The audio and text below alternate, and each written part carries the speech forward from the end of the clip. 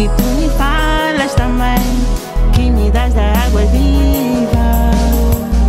Senhor, como tu me pedes de viver, sendo tu um judeu, como que tu me falas também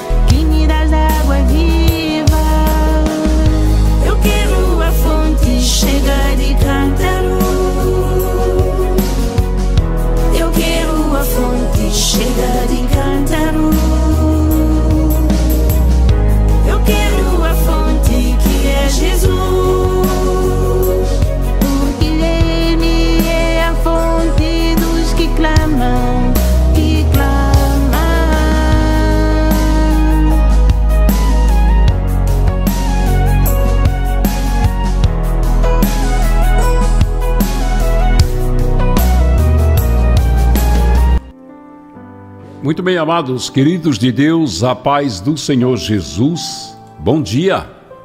Deus abençoe a sua vida, Deus abençoe a sua família, Deus realize na sua vida as bênçãos gloriosas. Derrame das janelas dos céus bênçãos sem medidas sobre a sua vida. Queridos, eu quero pedir para você se inscrever aqui no canal.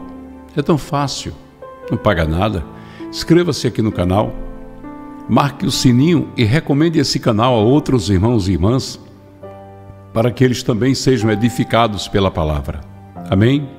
Eu quero pedir que você coloque aí na descrição do vídeo ou nos comentários da live, coloque o seu pedido de oração. Nós vamos levar para Israel, para a Terra Santa, para orar por você e pela sua família. Amém, amados? Nós queremos trazer uma palavra de Deus que está aqui em Mateus capítulo 18, versículos de 21 a 35. Olha o que diz essa palavra. Mateus 18, versículos de 21 a 35. Então Pedro, aproximando-se dele, de Jesus, lhe perguntou: Senhor, até quantas vezes pecará meu irmão contra mim e eu hei de perdoar até sete vezes? Respondeu-lhe Jesus: Não te digo que até sete mas até 70 vezes 7. E Jesus narra aqui a parábola do credor incompassivo, a partir do versículo 23, dizendo: Por isso, o reino dos céus é comparado a um rei que quis tomar contas a seus servos. E tendo começado a tomá-las, foi-lhe apresentado um que lhe devia dez mil talentos.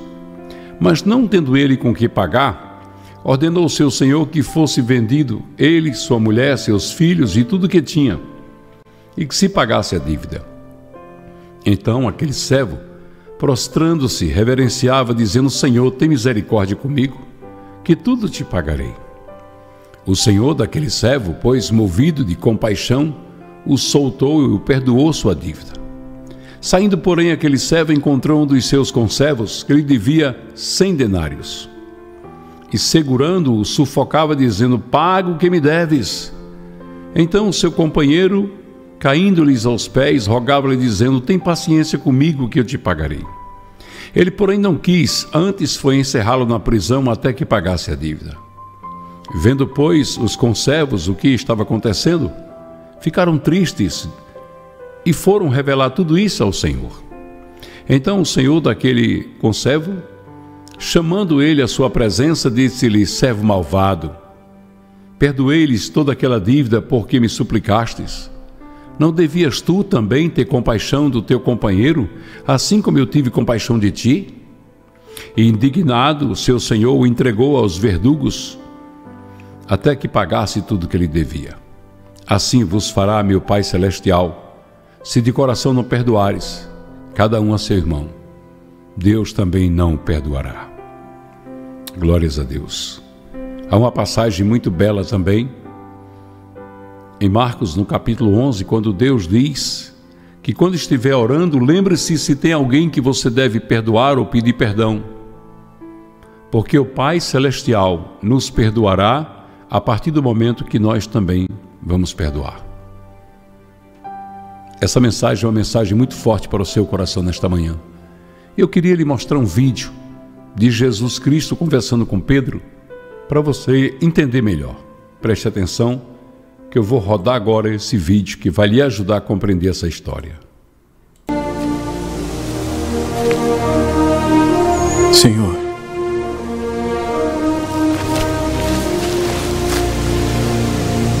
até quantas vezes pecará meu irmão contra mim e eu lhe perdoarei?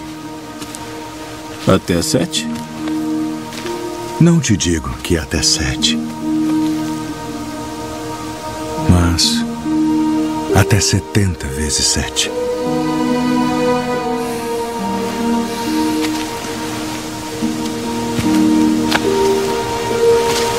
Por isso, o reino dos céus pode comparar-se a um certo rei que quis fazer contas com os seus servos.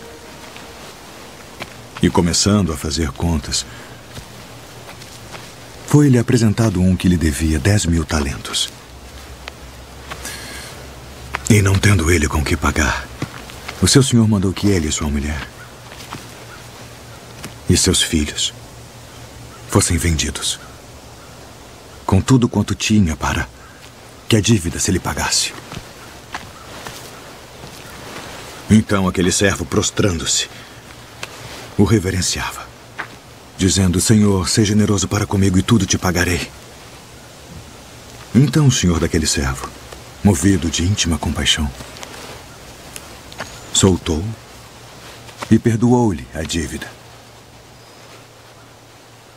Saindo, porém, aquele servo encontrou um dos seus conservos, que lhe devia cem dinheiros.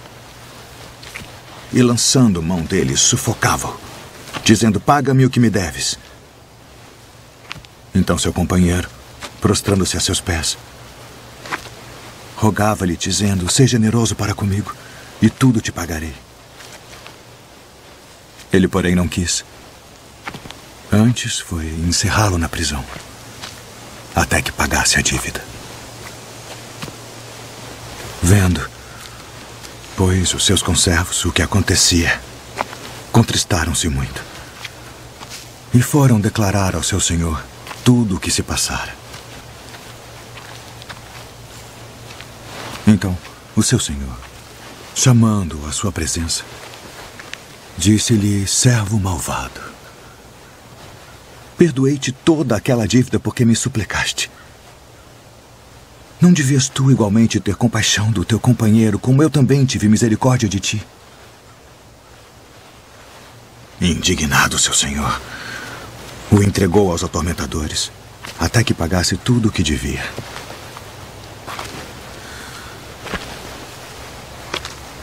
Assim vos fará também meu Pai Celestial se do coração não perdoardes cada um a seu irmão as suas ofensas.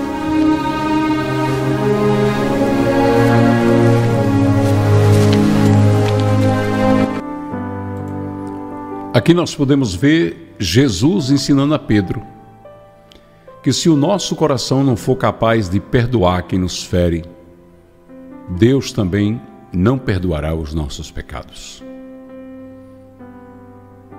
Deus diz assim: se você perdoar, será perdoado. Porque com a mesma medida que julgares, serás julgado.